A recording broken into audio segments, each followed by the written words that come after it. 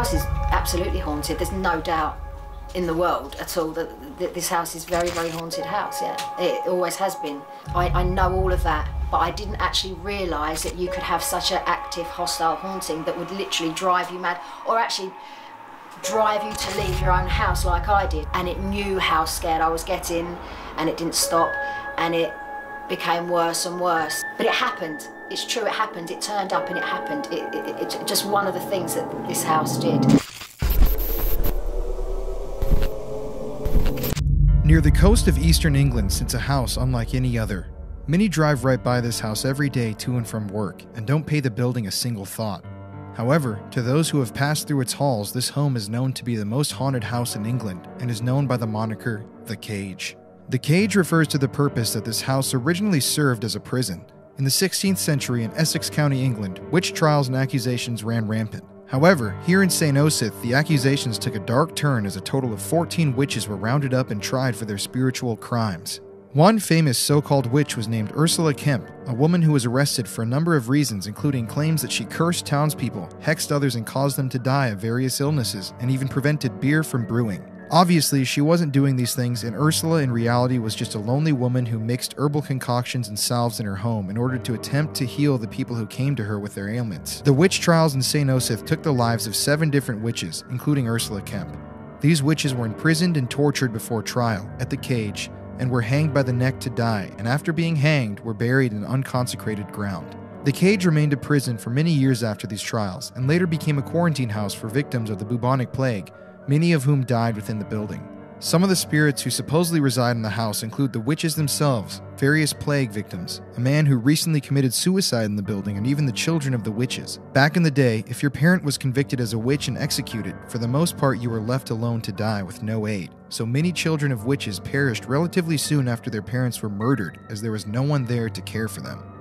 The cage has been in the news a number of times in recent history, and while we were driving through the countryside to get there, I couldn't help but imagine how horrible it would have been to have been convicted for a crime that you didn't commit and executed. It just wasn't fair. Current homeowner Vanessa Mitchell, who purchased the home in 2004, has recently listed the house for sale on the market and agreed to sit down with us for a rare interview from the woman who lived for years terrorized by the malevolent spirits of the cage. Why don't you say something for a mic test? One, two, three, whatever. Vanessa Mitchell, The Cage. Perfect. My name's Vanessa Mitchell. I bought this house in 2004. Um, it's called The Cage. It's a medieval prison, and it's now known as the most haunted house in England. The Cage is um, really most famous because it was a medieval prison um, back in the 1500s, and it's most famous for the incarceration of a very famous witch called Ursula Kemp. Um, she was hung as a witch, um, along with uh, two other women. Um, she lived in this village, and um, she was she she was taken. She was accused of witchcraft. She was accused of many things. Um, she was taken along with twelve other women, all in all, out of the village, and many of them were imprisoned here. Um, the three most famous ones we know, Ursula and the other two, um, were also here, and they were the three that did um, that, that were that were hanged, that, that were executed for being witches. Um, the house was also used for the imprisonment of, of women, children, men, you know, for various other reasons. So it was, you know, the house is most famous for Ursula Kemp, but many people have um, been imprisoned here and, and obviously died in here over the years. Most recently, um, the, there was a suicide in the house a year before I brought the house um, and a man did uh, hang himself in, in, in the property. Yes, that's true. Yeah. I came to live here. Um, I was actually this is my childhood village where I lived as a you know where I lived as a child, and um, I'd moved out of the village. You know, like most of us do. And um, I was I was working away, and I came home one day, and I was home for the weekend visiting friends, and I just saw this house up for sale, a for sale sign, and for some reason I just had to own this house. I I really, really, really had to own this house, and I don't know why to this day. I was drawn to it. I was completely pulled to it, and and and got literally obsessed by it. I owned a house um, in Newcastle at the time where I was working. And I thought, well, I can't, I, I need to buy this house. So I thought I've got to sell that house. There were tenants in my other house, which I owned. Um, and I did. I managed it on literally within weeks. I was living here, so I don't. I don't I, I was aware of the house, obviously. I used to walk past this house as a child, turn back from school. And obviously, because it's a medieval prison and it's a very famous historical property, um, obviously people knew about it anyway, you know, down to the history. I, I, I don't really know exactly what drew me to it. I don't know if it was a bit of that. I didn't know so much of the history at that point, though, to be honest. But I just had to buy it, and I did. I did buy it. Had you heard before you moved in that the house was haunted? I, I don't think I, I. I'm asked that question a lot, and I don't really think I did. I've seen the dead since I was a child, and to me, you know, most places are haunted. So I think even if I'd have heard it, it probably wouldn't have put me off. I was aware that a man had committed suicide in here, literally months before. I, I was told that. Um, but no, I wasn't really aware of the history of the house in, in, in, that respect. If I had have known, I'm not sure if I would have brought it. To be honest, knowing what I know now, I'm not sure I would have brought it. So it's probably probably a good thing that I didn't know because I probably, well, it was good or bad, I'm not sure now, and I look back over the years, but no, I, I, I didn't know. I, since I found out there were a lot of rumours connected to the house, um, but on the time I brought it, no, I, I don't think I really did. That kind of parlays into the next question. So, you believe that the house is haunted? The house is absolutely haunted. There's no doubt in the world at all that, that this house is very, very haunted house. Yeah, it always has been. Um, from the day I moved in, there was activity here, and I knew straight away, and I knew this house. I knew um, pretty soon. I think I'd, I'd, be in trouble with the house. The dead have never bothered me. Ghosts have never bothered. Well, they, well, they of course, they did when I was younger, when I was a small girl, because you have to understand it, don't you? Mm-hmm. If you'd have told me that there's a house, a haunted house, it wouldn't have really put, put, put, you know, if it was just normal, a normal haunted house. This wasn't. This was active and um, became more and more hostile over months and months and years. This is something I'd never experienced before, and actually something that if you'd have told me, I probably wouldn't have believed could have happened. I know the dead exist, I know the dead come back. I know there's things that we don't understand. I understand, uh, I, I know all of that, but I didn't actually realise that you could have such an active, hostile haunting that would literally drive you mad, or actually drive you to leave your own house like I did. I left this house. I brought, you know, I loved it when I brought it. Um, and it was my dream house. You know, it's beautiful. It's a it's a historical, beautiful, you know, house in a in the village I love. Why why would I leave it? Why did I leave it? I left it because it was really haunted, and I had no choice but to leave it. I wasn't given any choice but to leave it.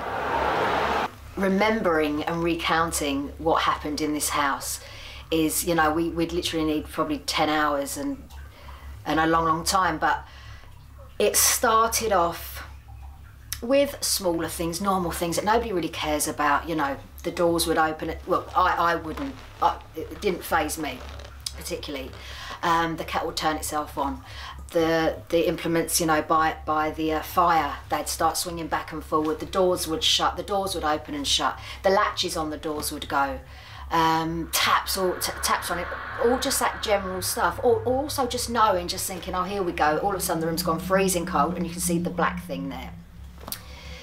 That that started off quite soon, um, within days really. I knew the first day something was in the house because it literally presented itself, itself to me the first day. I was actually bringing boxes in into the house. And then I knew, I thought, I'm, I'm going to be in trouble. You know, I, I just sensed it the activity grew and grew and grew. Other people were seeing it as well. I'd have friends round to see it. Um, not to see, I'd have friends round, and they would, they would, and a lot of them actually wouldn't come back again. I remember sitting in the in, in here actually with um, my friend Nicole moved in with me um, when I first moved in, and she stayed for a year. She was my flatmate, and we were sitting here once in this front room, the two of us, and we're just watching TV or something. It was just a normal evening, and then all of a sudden I saw. Um, like sparkly stars. Um, and I was just staring, looking at them. And then they multiplied and multiplied, and this entire room was just, I've never seen anything like it. You know, like the Walt Disney movies, when you get the sparkles, it was like that. And I looked at Nicole slowly and I said, Can you see what I'm seeing? And I hadn't even looked at her, I'm just, you know, you just kind of go into a daze. And she's just sitting here, she's just looking up, she's saying, If you're talking about all those lights, yeah, I am seeing it that was actually a nice thing that happened.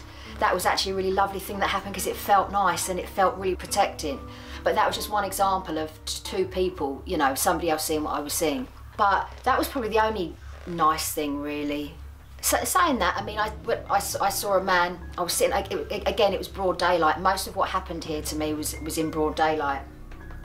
And people always ask me why didn't things happen at night. And uh, when I think about it, well, because I was under the bed going. Duh, duh, duh, I didn't. You don't go and investigate things at night, do you? It's not like the movies where you think, actually, I'm really going to. Normal people don't. You just stay there because you're terrified. Mm-hmm.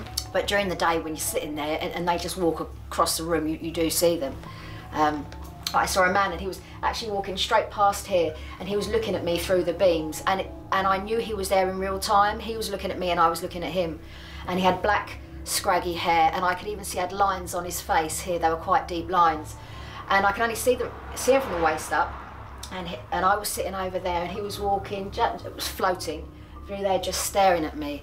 But he, again, he felt nice. He wasn't, um, he wasn't what what the house became. You know, the house became very, very bad. But he was actually quite nice. He had a nice energy to him. Also. Can I ask a question? I'm really curious about something. Yeah. Just real quick. Um, so would you say then that the spirits here, are the you know the haunting here, whatever you want to call it, would you say it was intelligent and totally aware of your presence? Yeah, absolutely. Absolutely. I would say that um, I would say that the, a lot of the spirits in here were intelligent and aware of my presence, and it was a real time situation. It wasn't stone tape theory. Time didn't get trapped somewhere, and it was replaying itself. It wasn't that. I believe what was here actively knew it was here was was um, actively knew it was interfering in my life and affecting my life. I 100% believe that. I've seen them since a, a child, so I, I know the difference. And this was here, and and it knew how scared I was getting, and it didn't stop, and it became worse and worse. And I knew it wasn't good because a good ghost or like you know you can talk to them and they you know they won't they won't literally try and drive you mad. They, they don't do that. What was here became um, I don't know if it was I believe I moved in here with with layers of spirits here malevolent and um, and normal ones to be quite honest. Children there were you know you, you sit in the front room and you hear the children running around playing upstairs. That you don't mind so much. But when you're on your own and the doors are opening and slamming and opening and slamming and opening and slamming and opening and slamming. And I say to people, you know, people say all the time, "Oh, I was so scared, my heart came out of my chest." Well, not really. Well, no, this is how this is how it feels when your heart, you know, that's how scared I was. So my heart nearly came out of my chest. When you say that it got bad towards the end, can you just kind of explain what you mean by that? Why? When was the shift and kind of what started to happen? Once it became more negative?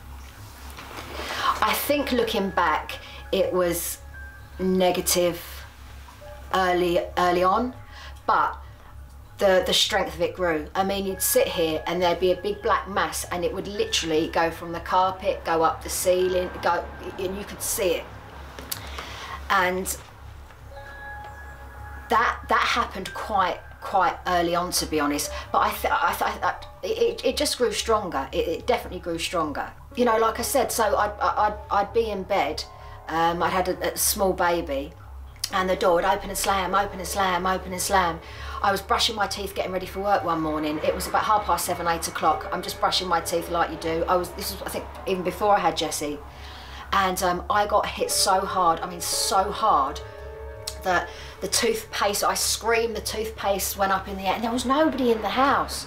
And this was a whack. This wasn't just a whack. This was a, a, hostile, hard. I got pushed over when I was pregnant. I was eight and a half months pregnant, and I just hit the deck. Just hit the deck. Luckily, I fell into the spare room because if I'd gone the other way, I'd have gone down the stairs.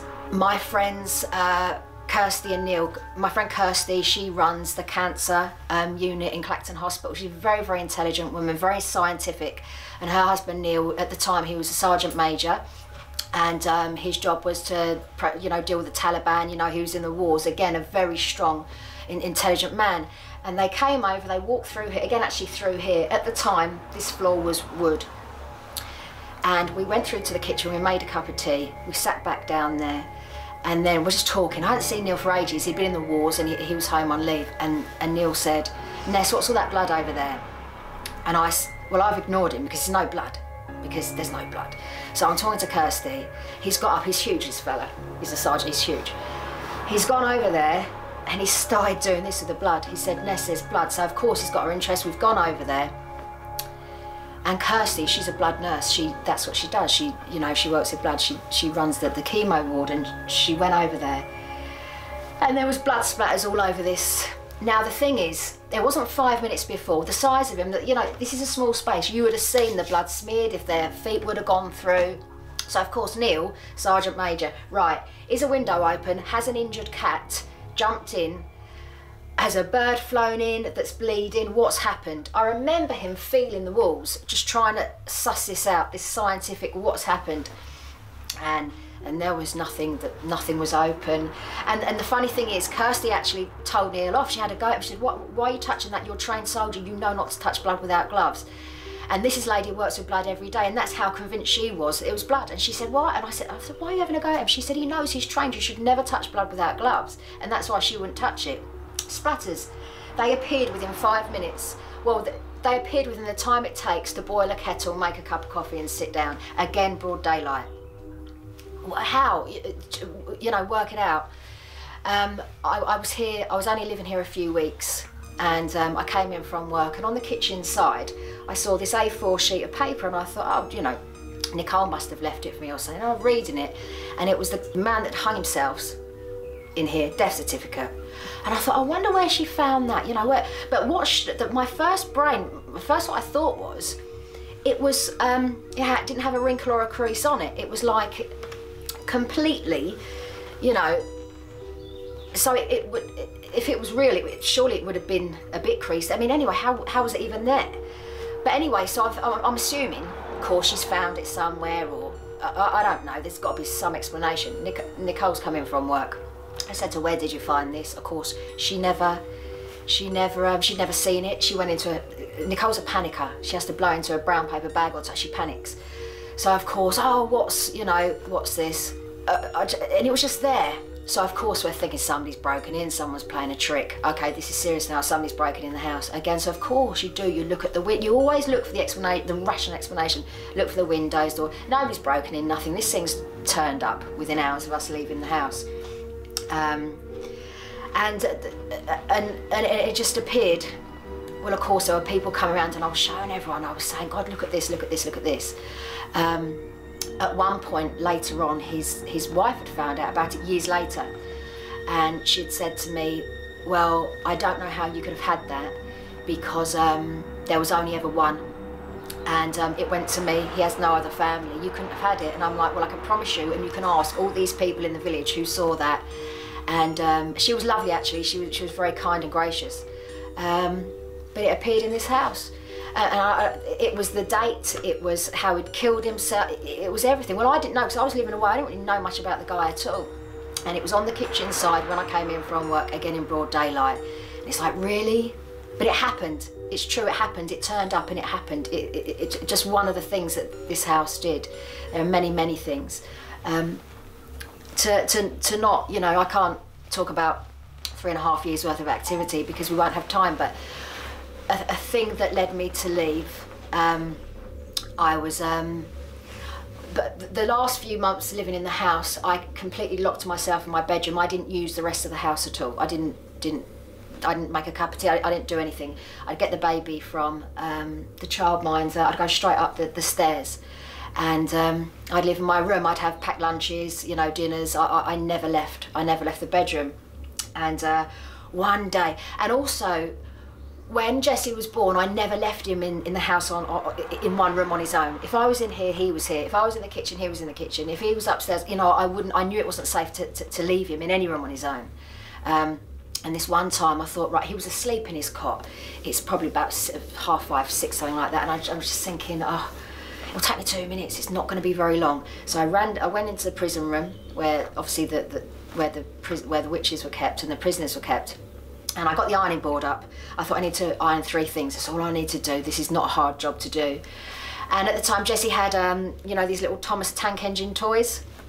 And um, I literally started ironing the first or the second thing, and these four Thomas the Tank Engine toys just started going around my feet, making the little noise, chugging along. And my first reaction, people ask me, my first reaction was I was so angry with myself. I was so angry. I'm thinking, why did you come downstairs? Why did you, why did you do? You know, just, just sheer angry with myself. Then, of course, I'm scared.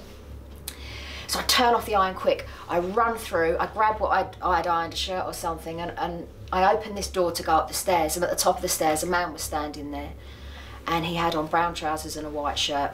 He wasn't like the others. The others were very old-fashioned, and the lady I'd seen in her as well. You knew, you, know, she, she- they were from hundreds of years ago, and and this man wasn't.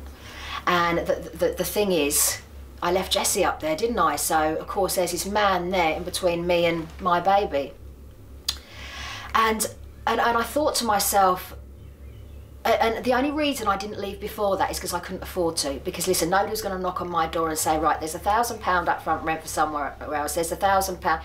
In reality, that doesn't happen. I'd spent all my money on buying this house, and I had nowhere to go, and I, and I couldn't go anywhere. So I'd lived with this for three years, this constant activity, and that's the reason I didn't go. But the reason I did end up going was because I couldn't even iron a couple of shirts without without something happening, and that's not including all the other activity that was constant door slamming. You know, I'd, I'd cut, you know, and also I'm on a budget. I'm a single parent, and you know everything's on a meter, or you know I've got bills to pay.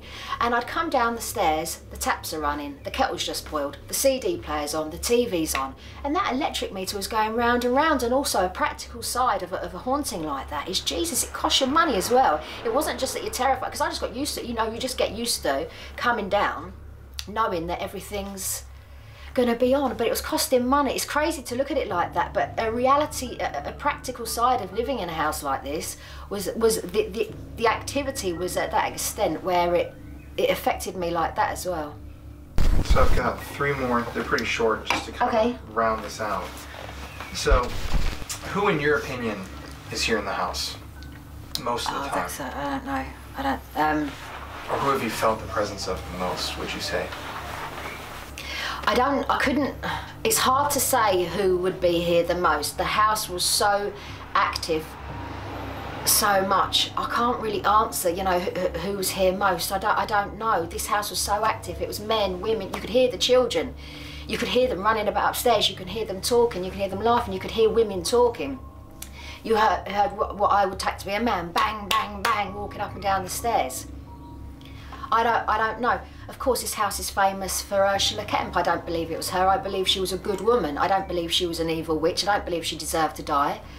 Um, when I when I first lived here, a lady came. I was sitting on the floor. Um, I was watching again during the day, and she walked straight through, and she had on old-fashioned clothes, and she was carrying a bowl, a wooden bowl. And what I noticed about it, which was I struck me quite weird at the time, the bowl wasn't round. It was kind of that shape, and it had something in it like lit, what I took leaves or um, something of that nature. And she walked. I was sitting on the floor actually watching TV, and she walked straight over me, and she just sprinkled this stuff on my head.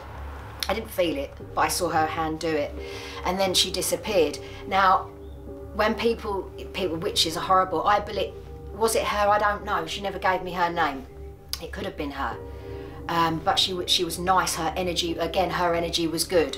Looking back, I think because I was I was only living here again a, few months then. I think maybe she knew what was to come, and it was some sort of protection or something. I don't know to be honest. How can how can we ever know? Because unless they actually say it, it it's only what what what we feel it could have been. But I don't think she was here all the time because her energy was so nice. I think I don't think it's her that was here haunting this house. I, I, my feeling is it wasn't. I think it was others. There was something very negative here, and I've had that cleared and cleansed now. Um, I had um, a lady actually that flew over from America last year, June Lundgren, and she um, she she helped cleanse and clear this house, and also Father Ted Woodruff, um, both both uh, man and woman of God actually, and they came with the cross and they they that they, cleansed and cleared this house um, in the name of God, um, and so the house has been so much better since. So the house is still haunted. but it's nothing like it used to be. And that bad and that negative, that horrible, horrible, that would literally whisper, kill yourself, kill yourself, kill yourself, kill yourself. It literally, if you could imagine living in a place and hearing that all the time, that, that bad, that black, that thing, that mass, um, all that's gone. Um, so what was there to, to answer your question? I've digressed slightly, but um, there, there was so much here. Now the house is still active. I, I, I was here the other day and I, I put a pint of milk um, somewhere I knew would keep it cold. And I, I came back later and um, it was up on the side near the kettle. Yeah, there, there's still stuff here, but it, it's not active. It's not got that bad, that bad evil here anymore. Well, that's That's gone. That's why I can sit here and, and, and do this. That's why I can spend time in the house now. Um, so yeah, but to answer your question, I don't know. I don't know. They don't write things down, do they? We, we don't know. I mean, there's men, women, children, and layers and layers of generations. This is an old house. It's an old village. I've decided to sell the house now. The house has been in my care now. I've been the guardian of this very special house um, since 2004. Um, I'm the longest owner ever to have had it. We've researched back and, and, and, and we've gone through the deeds of the house. And this house has been up for sale on average every three to three and a half years for over the last 200 years. The strange thing is, I only lived here for three years. I've owned it obviously a, a long, a lot of years since. But um, it's time for me now to, to let it go to someone else that really wants to, to look after it. It's a special house, there's no negative here anymore, but I've decided it's time for me now to, um, to let it go to someone else. Um, it's bittersweet for me, I love this house, but at the same time it's caused me a lot of harm in my life and a lot of upset. Um, and, and big financial turmoil to be honest but at the same time I love it because it's so special and there isn't a house like it um, there have been there are only seven cages medieval prisons left in the entire country and this is the only one with a house attached to it so it's a very unique property historical wise as, as well as it obviously being the most haunted house in the UK the, the reputation of um, so the next person that takes on this house we have to be aware you know that this house is always going to court big media interest worldwide like it like it has with me um, the groups don't come in here anymore, so it's just now it's just a peaceful house. It's a peaceful cottage. Um, yeah, it's still haunted, but most places you'll find will be. But there's nothing bad here. But I, I need to sell it, so and I've decided that someone else is going to be very lucky enough to own it. A special person that the house will choose. It, that the house will probably choose. It's it's its next owner, the same as it chose me. Um, so it's up for sale with an agent. Um, the, the the agent's name is Florent Lambert it's uh, homedomus360.com and so if you could put the link on so if anybody out there that is watching this and you know please you know research the house do your homework google it and if you're interested in buying it, it it's time now for me to, to to let somebody else look after it So, out of curiosity, how often do you come back to the house? I, for, I, until the house was cleansed by Ted. Ted, uh, Reverend Ted Woodruff, he, he cleansed this house for me um, a few months ago. Before that, I couldn't come back in here at all. It would literally be for something I had to do with other people. Since he cleansed the negative out of the house, I've been able to decorate. I've started decorating, um, you know, really brightening the house up, and and I've been able to do it because I feel comfortable enough to. I was here waiting for you guys for two hours before you. you well, I wouldn't have done. I, I, I literally wouldn't have done. First, I'd have said, right, ring me when you get, you know, you came a bit late, but I was gonna. And I thought, no, I stayed here. It was lovely. It was actually nice. Because the house hasn't got that fear for me anymore. Because that bad, bad is gone. Still haunted, but that's all right. But um, it's only by good now. There's just lovely, nice ghosts here now. Well, that's good. So Positive. anyone who takes it on is gonna is not gonna have the, the trouble that I had. You know, it, it it took years and years to to make this house, you know, clean and happy and cleansed again. I had to find the right people to. It's, it's, it's a lot harder than people think. Lots of people try and cleanse properties and they can't do it. This house was so hard to do. It was so hard. I've been trying for nearly 15 years, but obviously um, I found the right people to do it, and, and the right way to do it. So now it's just nice, but it's still fame. You know, it's still it's always going to have that reputation. Fortunately, unfortunately, I'm not sure that'll be up for the new owner to decide. So, last question. Um, at the end of the day, to people online who are going to be watching this, who don't believe in ghosts, don't believe in the spirit world at all, what's one thing that you would say to them to kind of end this interview? to, to people who don't believe in spirits or ghosts, um, I care more about the opinion of that carpet than I do the opinion of people who don't believe in spirits or ghosts. I have no interest at all in it, to be honest. I've got no interest. It goes over my head. I don't, I don't care. I'm not interested. Um, I've seen it, I've lived it. There's so much scientific evidence now. You know, it's not the Victorians where everyone says, is there anybody there? And people start having breakdowns. There is hard scientific fact in every genre of the paranormal world now. And if people don't get it, listen, there's some people out there, a ghost could walk up, punch them in the face, and they'd say, oh no, it was a trick of the light when their, their noses bleed. Really? I don't have time for that. I don't have time for people like that. I just, you know, over my, head, you know, I'm not interested. I don't care. I don't care in a, in people's opinions like that. It's good because it's not true. It does. It, it doesn't faze me. It doesn't bother me. I'm not interested. I don't read cut. I'm just not bothered. It's, it's them. Believe what you want. I know the truth. End of subject.